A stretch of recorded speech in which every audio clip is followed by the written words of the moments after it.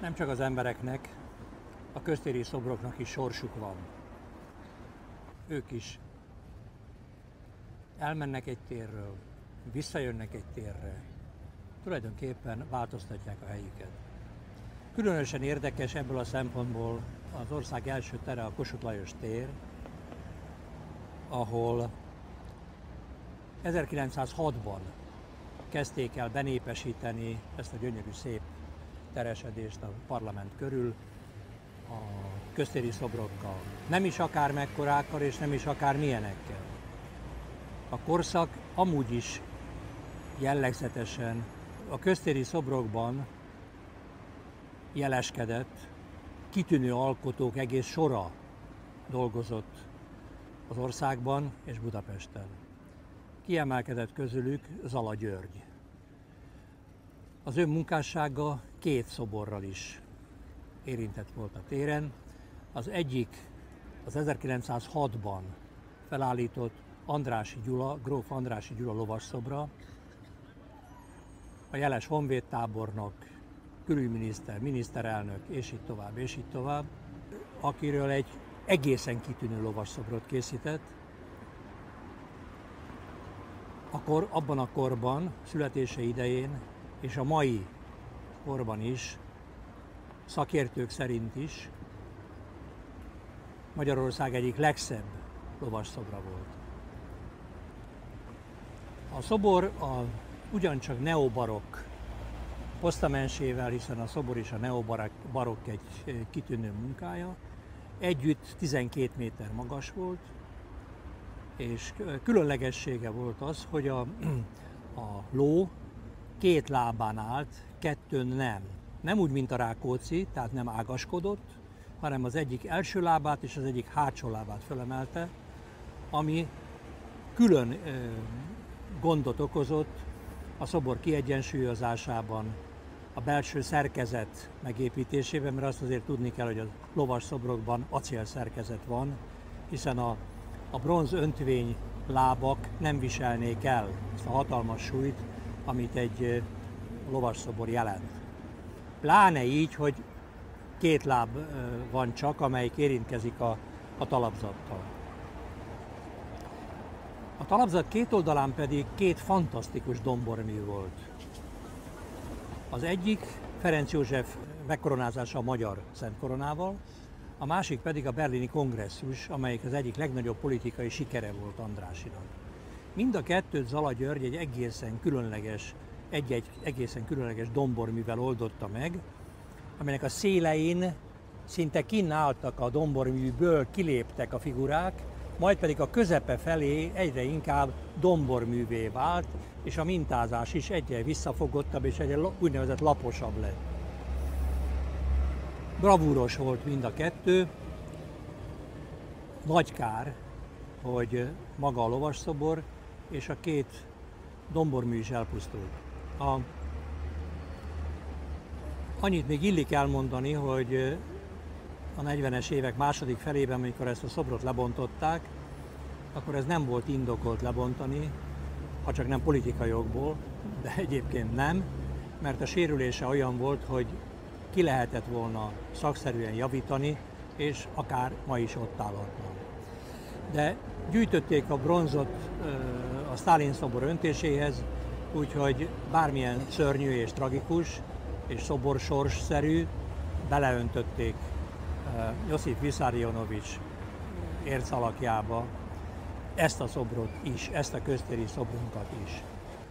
1927-ben állították fel Horvai János Kossuth emlékművét, amelyet aztán 1952-ben lebontottak és elvittek Dombovárra, most is ott áll, nem abban az eredeti állapotában, ahogy itt a téren volt látható, hanem szétszedve figuracsoportonként.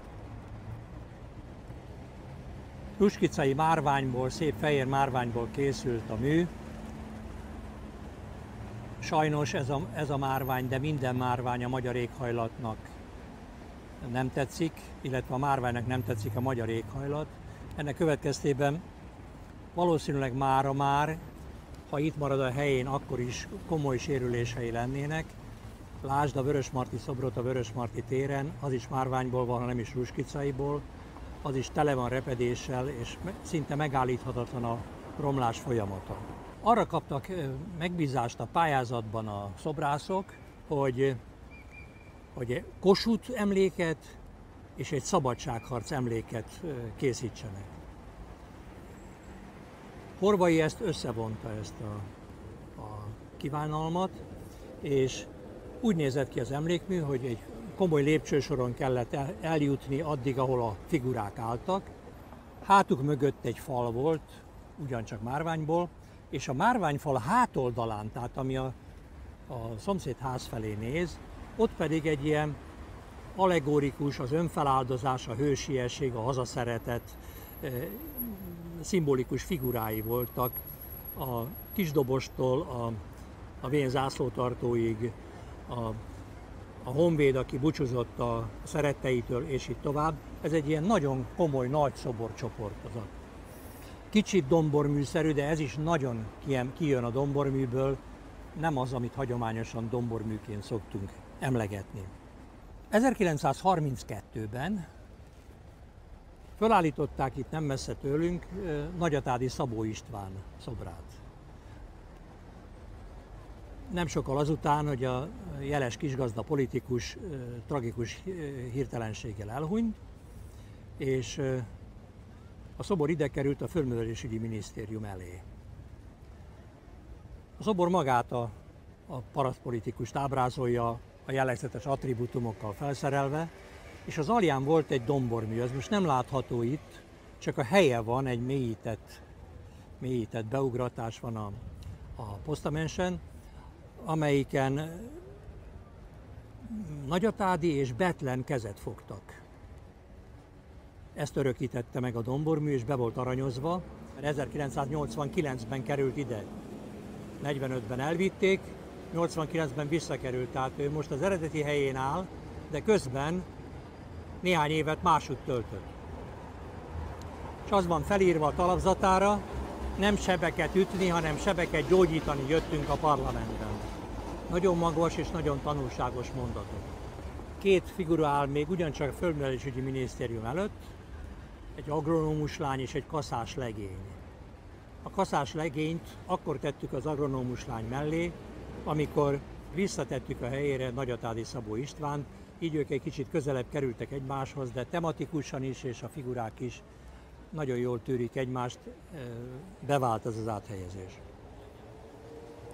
1934-ben megint egy óriási szoborral gazdagodott a tér, most az északi oldalon, a parlament északi oldalán, Zala György és Orbán Antal gróf Tisza István emlékművével. Ez is 12 méter magas volt, pontosabban 5 méteres volt maga Tisza István bronzalakja, két oldalt nagyon komoly, nagy szoborcsoport volt, ugyancsak bronzból öntve. Tisza István mögött egy hatalmas kőoszlop, egy pilon állt, és a pilon tetején ugyancsak kőből faragva egy, egy vicsorgó oroszlán. Ezt, ezt az emlékművet is 1945 után megsemmisítették, de azt azért örömmel mondhatom, hogy a két mellékalak csoportozat teljes egészében megvan. Nem azt jelenti, hogy nem kellene felújítani őket, de megvannak. Az egyik Esztergomban áll köztéren, mint önálló szobor, a köztéri szobor, a másik pedig a Magyar Honvédség birtokában van. A főalak sajnálatos módon elpusztult. 1937-ben aztán utolsó nagy emlékműként került a térre második Rákóczi Ferenc fejedelem lovasszobra, Pásztor János ugyancsak remek műve, ágaskodó lóvon ül a fejedelem, nemes tartásban, ahogy ezt egyébként annak idején az Andrási szobornál is elvárás volt, és nagyszerűen teljesült itt is természetesen. Ez az a szobor, amelyiknek az a sors iratott meg, hogy marad a helyén. Érdekesség annyi, hogy ez csak annyit változott a 40-es évek második felében, mondjuk az 50-es évek elején, hogy az egyik, nem ezen az oldalán, a túlsó oldalán az van írva, hogy cum deo pro patria et libertate. És mivel a cum deo az a jóistennel volt ugye természetesen összefüggésben, azt gyorsan lecsiszolták róla, és 1989-ben egy óvatlan pillanatban megrendelhettem a cum deo visszafaragását, miközben a parlamentből többen valószínűleg azok nézték, akik annak idején lecsiszoltatták a, a szöveget, úgyhogy 1989 óta a rendszerváltást megelőzően a cum ismét ott van, tehát Istenért, a hazáért és a szabadságért. Ezt követően kitört a második világháború, és akkor nem szoktak szobrot állítani. Majd 1952-ben az a döntés született, hogy eh, a Horvai János alkotta Kossuth emlékművet le kell bontani, és el kell szállítani innen a helyéről. Ugyanakkor ugye elkészült Kisfaldi Stróbő Zsigmond, Kocsis András és Ungár Lajos alkotása a mostani Kossuth szobor, amelyik hát ugye a, a kor divatjának megfelelően nagyjából azt sugalja, hogy ismét győztünk. Ez is 8 méteres, ez az emlékmű, nem tartozik sem Kisfalodi Stróbő Zsigmondnak, sem a két társának a életművék legkitűnőbb darabjai közé. Ez egy propaganda mű. Valamikor a 80-as évek közepén egyébként az a lilás kő, amivel a talapzata burkolva van, meglazult, és ott mindig kisgyerekek játszottak, mert ott valahol egy óvoda van, és gyorsan intézkedtük, hogy ki kell javítani a